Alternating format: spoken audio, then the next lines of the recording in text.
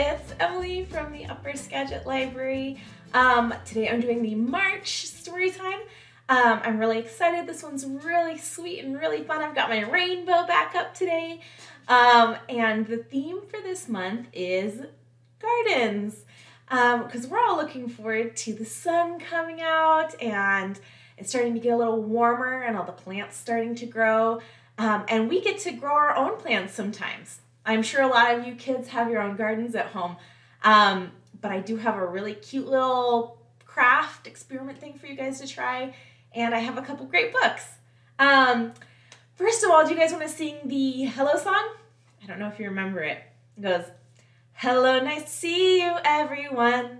Hello, nice to see you, everyone. Hello to you, hello to you, hello to you, hello to you. Hello, nice to see you, everyone. Yay! Do you guys want to try it one more time? Okay. Hello, nice to see you, everyone. Hello, nice to see you, everyone. Hello to you, hello to you, hello to you, hello to you. Hello, nice to see you, everyone.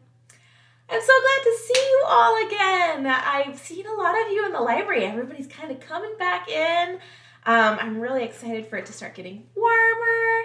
And um, so let's just jump right into the first book. We've got The Hidden Rainbow by Christie Matheson. And um, you guys might notice this happens a lot of times since I use a green screen. Some of the green is going to have some rainbows hidden in it. And you know what? That's not really a bad thing.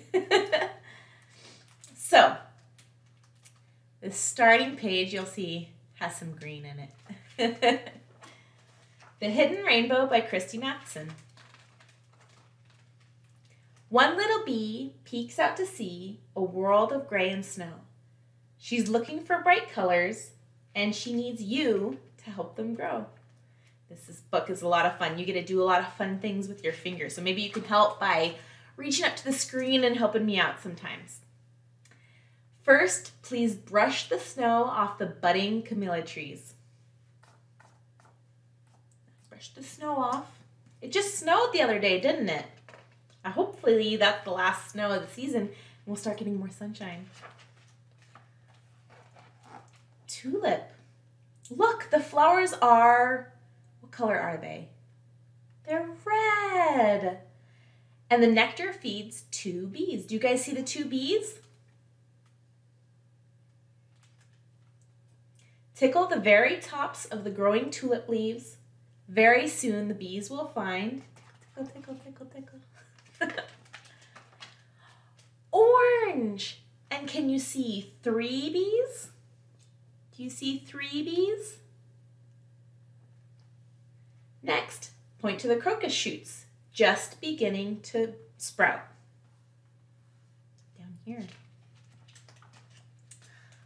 Clover. And this page is yellow, but yellow kind of blends into the green, huh? Four bees are eating pollen. Now that yellow has come out, now it's time to search for a special four-leaf clover.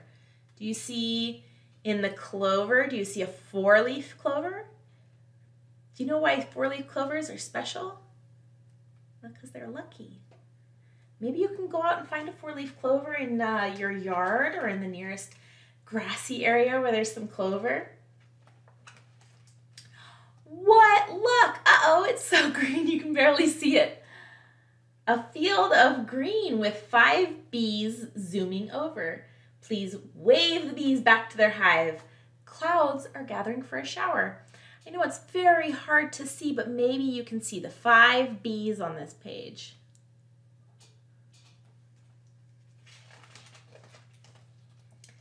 The bees don't like the rain, but it's important for the flowers. Do you know why it's important for flowers to get rain? And the flowers need some things so that they can grow. They need sunshine and they need rain. And do you know what sunshine and rain together make? My background. They make rainbow. it's my favorite. Forget-me-nots. This is my favorite flower. Blow the forget-me-not buds dry as the rain clears from the sky.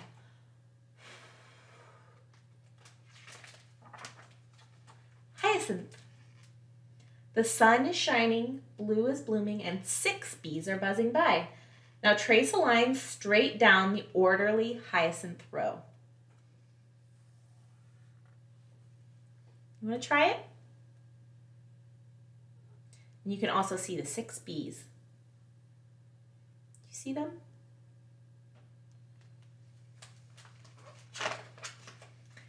Seven bees are foraging in blooms of indigo. You're practically done. Now blow a kiss to the lovely lilac trees. See the lilac trees? The violet blossoms are, are brimming with nectar for eight bees. At last, get ready to find, here, hold on, can you see the eight bees?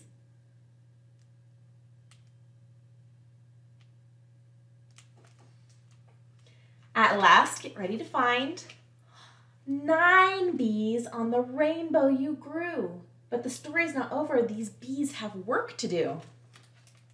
Do you see nine bees? Maybe you can pause the screen and try to look at.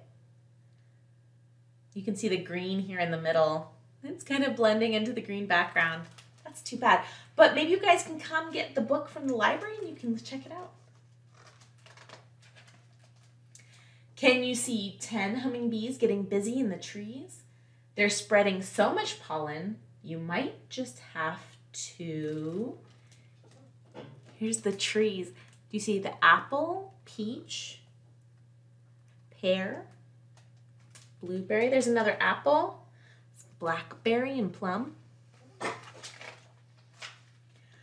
Achoo! And why are the bees spreading pollen? So something you can eat can grow. Thanks to bees, soon you'll have your own delicious rainbow. Oh, thank you, bees.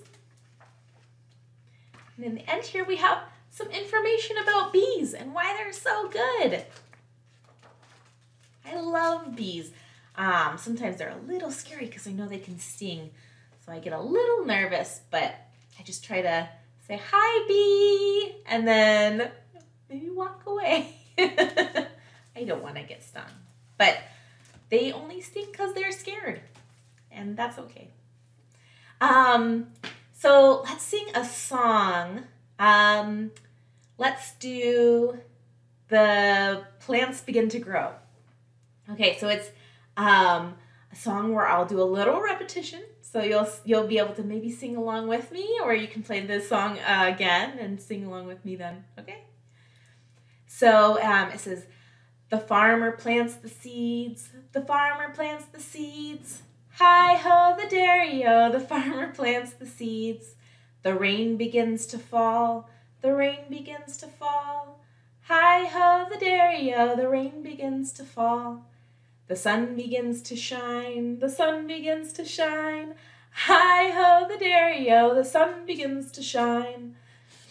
The plants begin to grow, the plants begin to grow. Hi ho, the dairy-o, the plants begin to grow. The buds all open up, the buds all open up. Hi ho, the dairy-o, the buds all open up. The flower smiles at me, the flower smiles at me. Hi ho, the dairy-o, the flower smiles at me. that was kind of fun. It goes to the tune of a song that you might have heard of before. And if you don't know, maybe you can ask your parents and see if they know. Um, we have one more book. I really like this one.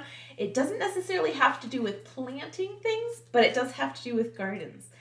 Um, do you guys know what lives in gardens? There's a couple things. There's some animals like hedgehogs and snails and squirrels.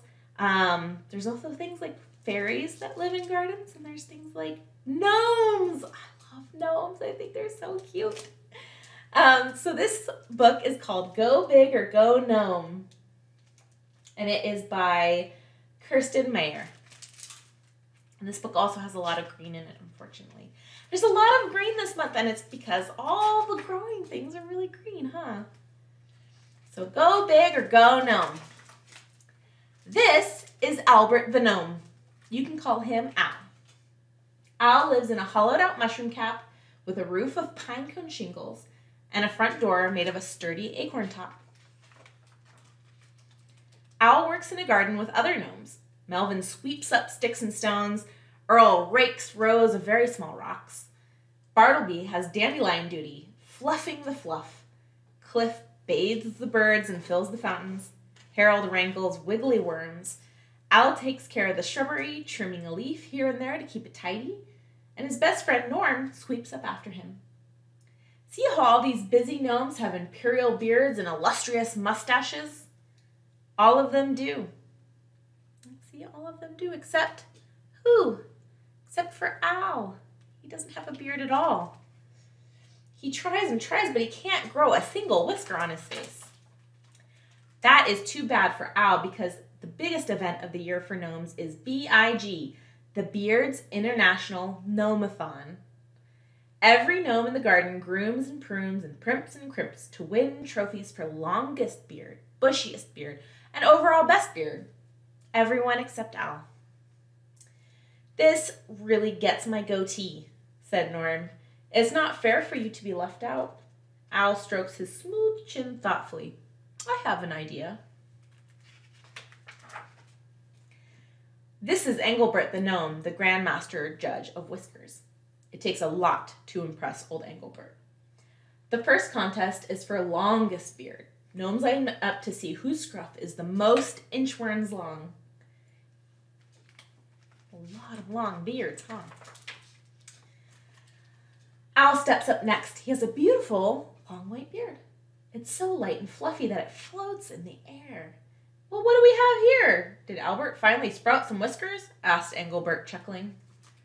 Then the old gnome leans in for a closer look. Something tickles his nose, and he lets out a great big achoo!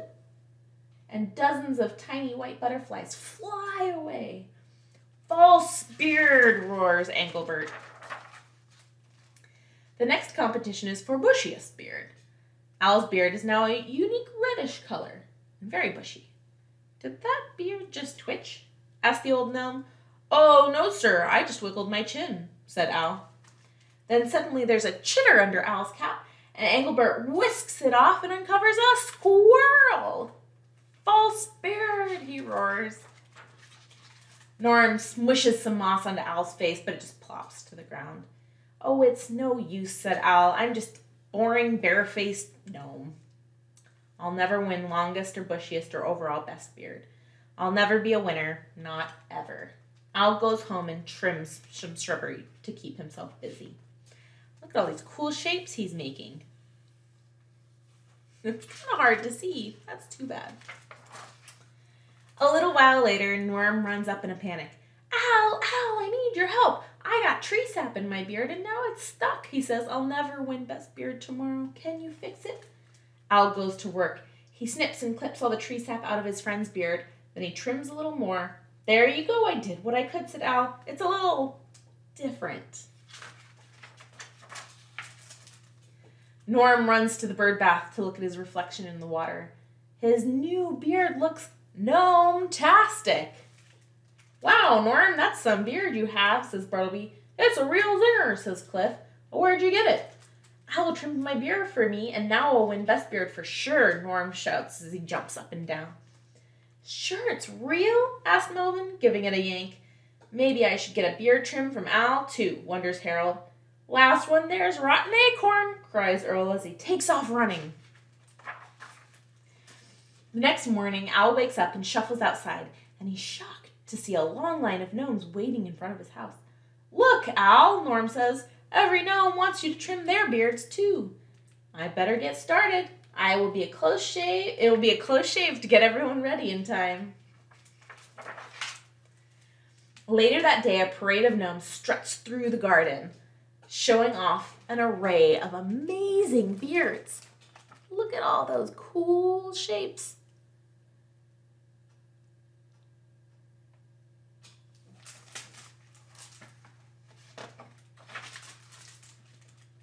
Engelbert can't believe his eyes. Goodness greatness! Fancy feathers, bristles and banjos, whimsy and whiskers. Engelbert claps his hands to silence the crowd. Every beard today is truly special. I have never seen anything like it in the history of BIG. I declare the competition for best beard to be a 30-way tie. Every gnome wins. Engelbert walks over to Al and hands him a trophy. Albert, you're getting a special prize for bringing beards to a new level and raising the handlebar for this competition. You are the winner of the first award for Best Barber. Every gnome cheers as loudly as they can. Albert the gnome is the winner! After much celebrating, Al walks home. He thinks about where to put his trophy. He doesn't even notice that his light is on and his acorn door is slightly open. Hi, I'm Ginger. I was wondering, could you give me a haircut? Looks like she might need one, huh? The end. I love this book. Go big or go gnome. I think that's a cute one. Um, so I do have a kind of a craft, kind of a science experiment today, um, but it's really, really easy. So uh, I will have some of this at the library, and um, we have a really great partnership with the Finney Farm. So um, we got a bunch of seeds. We have a new seed library at the library. So we have all of these really great seeds and you can come take them home. Isn't that super cool? Um, so I also have these little peat, uh, peat planters that you can use. And all you have to do, and I'll, I'll have um, some baggies of soil if you want them at the library. Um, you just go ahead and fill up your little peat cup here, and then you stick a seed in, and you can water it, and you water it every day, and you watch it grow. Um, and one of the best plants to do that with, I have it here, is the uh, bean. So this one is the Cherokee Trail of Tears beans. Um, so you can kind of see what some of these look like. I got the beans. I got heirloom tomato mix. Oh, I'm so excited for that one. Do you guys love tomatoes? I love tomatoes, and I love heirloom tomatoes. And then we have the Finney sunflower mix. And then I also got the lettuce mix. And there's a bunch of other ones there too. There's all sorts of really fun things that you can put in your garden. Um, but I have these if you want to do a little starter at home and you can kind of start it a little early if you want to. Um, so come on by, check that out, pick some peat cups up, and check out the library because I have added a bunch of cool stuff. I added some stickers and some toys, so the library is super fun right now. All right, so that's about it for story time, you guys. Thanks for coming by and hanging out with me as I read some books on gardening. Um, go ahead and come to the library. We've got all of the Storytime books right in front of that Storytime chair, and you can pick them and grab them. You can read them there, or you can take them home. That's good too. Um, so we have one last song to sing. Do you guys remember the goodbye song?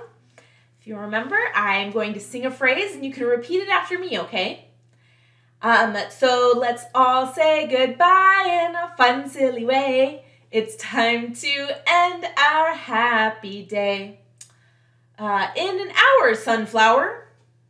In an hour, sunflower. Better swish, jellyfish. Better swish, jellyfish. Give a hug, ladybug. Give a hug, ladybug. Peace, geese. Peace, geese. Let's all say goodbye in a fun, silly way. It's time to end our happy day. Thank you so much for stopping by. Thanks for watching the video. It's so good to have you guys around and I can't wait to see you in the library. I love seeing your little faces every time you come in and I'll see you soon. Bye, bye, bye, bye, bye. bye.